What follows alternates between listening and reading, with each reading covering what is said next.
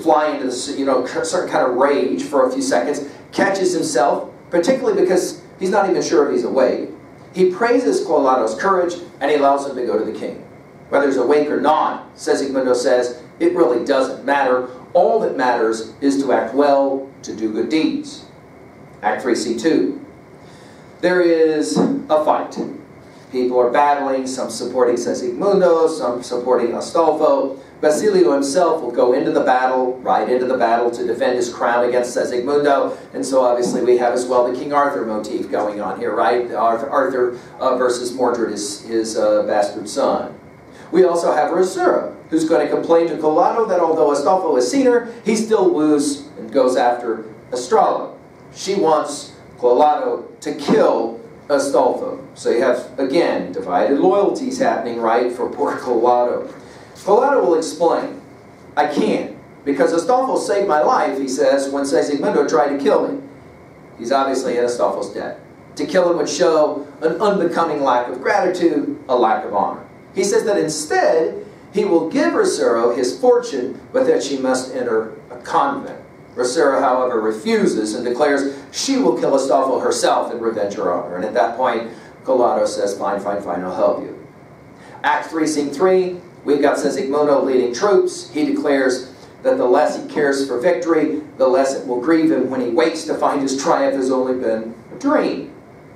Rosaura implores, she's armed, implores the assistance in her cause from Segismundo, right, against Astolfo. She tells the story of her mother's seduction, betrayal by a man whose identity she doesn't know, but whom the audience knows is Clotaldo, and of her own similar seduction and betrayal, obviously, by Astolfo. She speaks of the other times that she and Segismundo have seen each other and been together in the tower, when he was imprisoned at court, where he had princely power, and that she has known him in both these states adds to his confusion about which was a dream, which was a waking state, are both the same, are both different.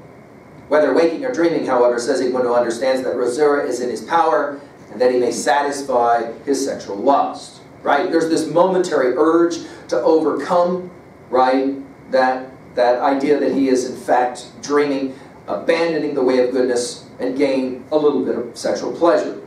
However, he thinks if he's not dreaming and really awake, the case is similar. For life is like a dream, he says, from which one wakes in death, and there's little satisfaction gained from an evil action, which is as short-lived as an action in a dream and will have eternal consequences. So, he stops himself. He says, even though I want Rosaura, I'm lustful for Rosaura, I'm going to show restraint. And again, we're thinking obviously about Plato and his four cardinal virtues from Republic of Wisdom, courage, of course, that notion of discipline, right, or temperance, and then, and, and, then finally the idea of justice itself. All of these are going to play powerfully in the end of our play here, right? Clarion then, um, the um, sidekick of Rosaura, who was always talking, he's hiding, and in the confusion of the battle, uh, he ends up killed in the crossfire. Says Segismundo's forces win, Basilio will flee um, will be told by Astolfo and Clotaldo to flee. However, he doesn't. He's resigned now. He's, he's like, I know my son's going to kill me now that he's taken over the kingdom. However, Segismundo won't kill his father. Instead, he allows his father to live. He will, even though he wants to be with Rosaura, he will renounce his passion. He gives her to Astolfo to marry, obviously restoring the honor. And he takes Estrella as his wife. He becomes the king virtuous, merciful, peaceful. He's aware that life is a dream, he says, and dreams are illusions that end. The, the speech at the end is a compelling, compelling speech. That's how the play ends. Now let's ask about our big five. Epistemologically, what does this text say? Well, the first thing that it says in terms about what we can know is that you got to be very careful with an absolutist position. I am absolutely right, you are absolutely wrong in terms of the things that we know because life is, is it can be like a dream. To that degree, the fallibilist position is what is being suggested here. I think I'm right, but I could be wrong. It's that I could be wrong that's so vital to understanding and appreciating the play. Ontologically, what does this text say? Well, we've said it often. We are the stories that we tell, the stories we retell, but we're also the stories we accept or reject. And Segismundo has to decide which stories will define him as ontologically who he is.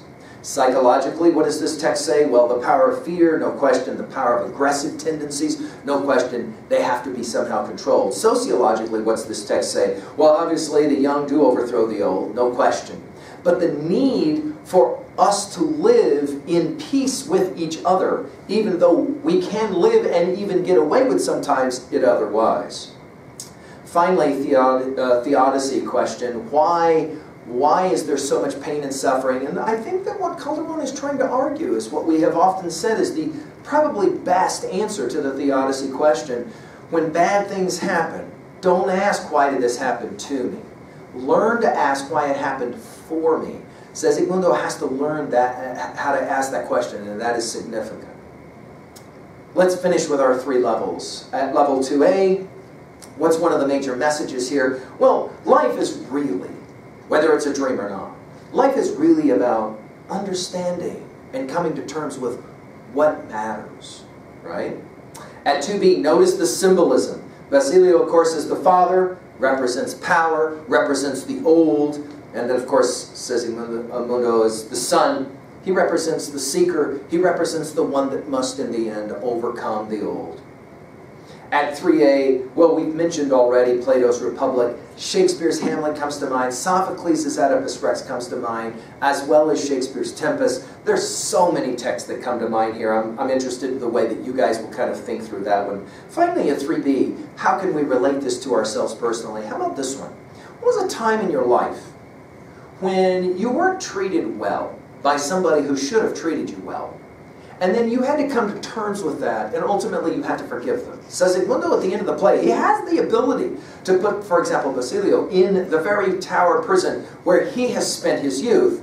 His days of youth, he says, have been ill spent, you know, locked up in it. And he, had to, he has to forgive, and that's exactly what he does. Was a time in your life when that happened for you, and you had to do that? And then finally, how do you know that what you're experiencing right now is in fact not an amazing dream? In fact, it is true. How do you how do you parse that out? And to what degree do you recognize in your life that you need to do well with the things that you have in your life to do at all? Do them well. What motivates you to do that? Well, I hope that you will find this play one that you will enjoy studying, reading, and of course, ultimately watching. Thank you.